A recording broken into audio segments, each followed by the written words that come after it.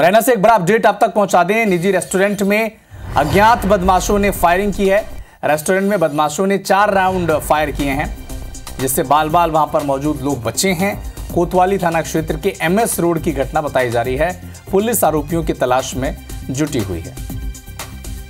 देगा देगा नहीं